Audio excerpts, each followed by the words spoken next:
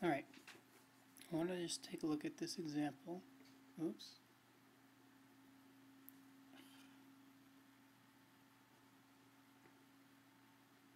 Get rid of that. Great. Alright, I just want to take a look at this example. Um, because I think this part of the issue here is I think the, the, the wording of a problem like this is just um, a little bit confusing for some of you in terms of in terms of what's being described. So I do want to walk walk through this, and I have a nice uh, animation too. So set up uh, it says set up an integral which could be used to find the volume of the solid. The solid lies between the planes y equals 0 and y equals 2. So let's just stop right there.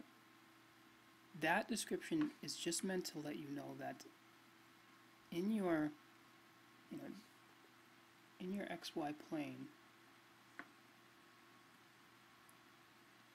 right, your solid lies between the planes y equals 0 and y equals 2. Now, why didn't they just say, that, you know, the lines y equals 0 and y equals 2?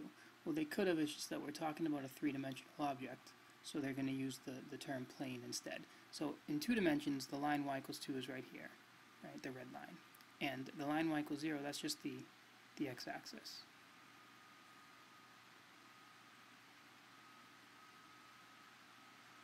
Right? So what they're saying is just in this solid here, which is just fixed, it's, it's just sitting on the xy plane, it lies between the plane. Now a plane you can just view of, view as, uh, like an infinite wall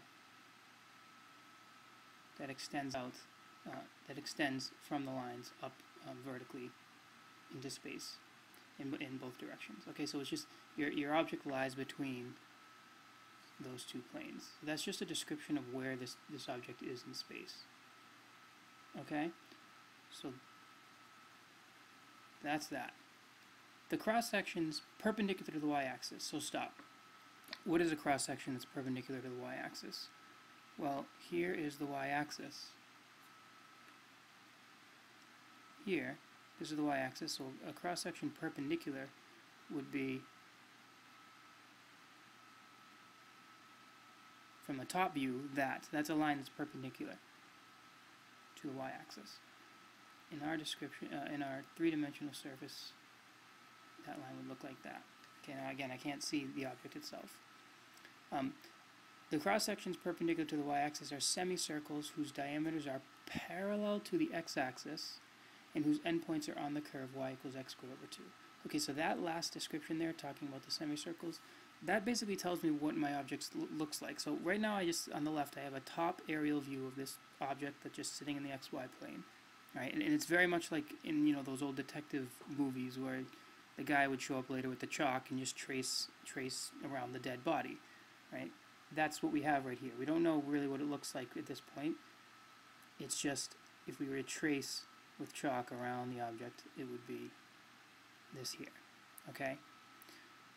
In terms of a visual of what this object looks like, I have a, I found a video so we can look at it.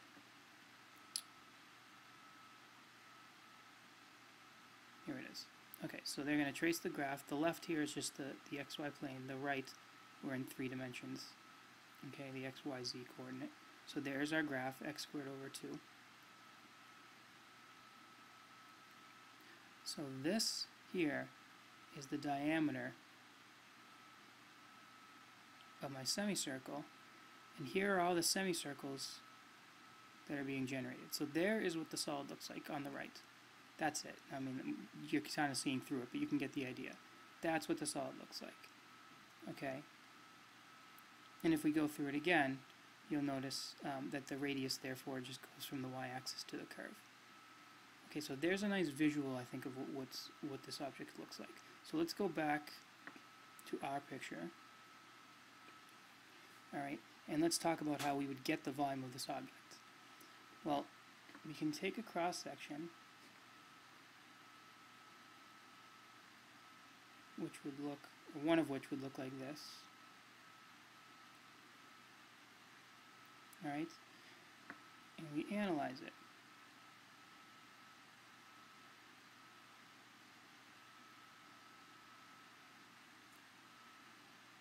So how do we analyze it, and what, what do we? What's our goal? Well, we want the area of this cross section, and if we want to speak of it as a three-dimensional object, we can give it some thickness. And the reason you might do that was is because it might lead you to um, to anticipate what the, the direction of integration should be. Should it be dy or dx?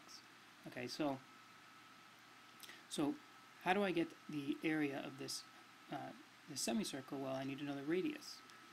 Look at our picture here. There's our diameter. Our radius is this line here. So how can we describe that? Well, we would need to know something about this point. That point, which is on the curve, we should um, we should label correctly. All right. So this is where you might want to think about what is, what's the direction of integration. Those uh, th this diameter is sweeping uh, from y equals zero to y equals two. So the direction of the integration is with respect to y. Okay, so that means I should probably change all this information here to be in terms of y.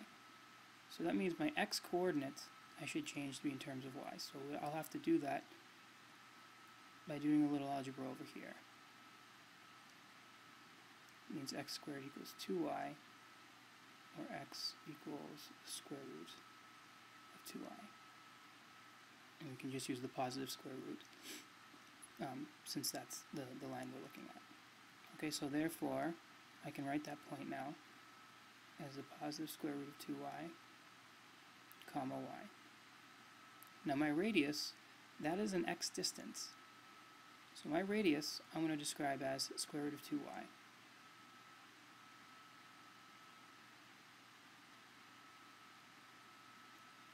So therefore, if I want to talk about the volume of this this, uh, this surface, it would be, or this solid rather, the volume would be, well, the area of a circle, pi r squared, cut in half since it's a semicircle. Okay, and this little distance here I'm going to call dy since we're integrating with respect to y, so the volume would be would be this. And if you clean this up, you get um, 2 pi y divided divided by 2 which is equals pi y.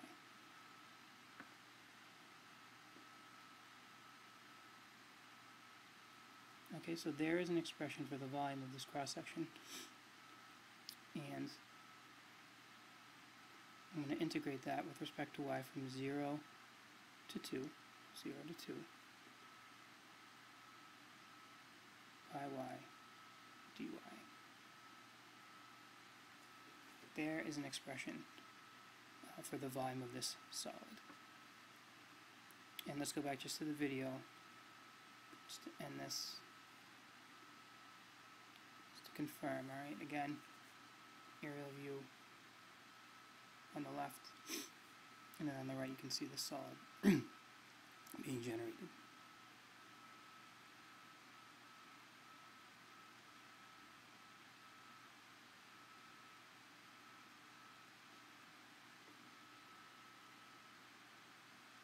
Now again, one thing to note is that, that this same base could generate, there could be a different solid that would have this same chalk outline, so again the detective comes by and, and, and traces it. But the cross sections might be a different shape, and you would just have a different, you would just have a different uh, shape. Rather than a semicircle, it could be a square. All right. In fact, in fact, take a look at this one before we before we get out of here. This would be the same description except that the, the cross sections are squares whose bases lie uh, on the plane and who, whose bases are parallel or whose sides are parallel to the x-axis and run from the two ends of the curve. okay, a new solid, and this is what it would look like on the right.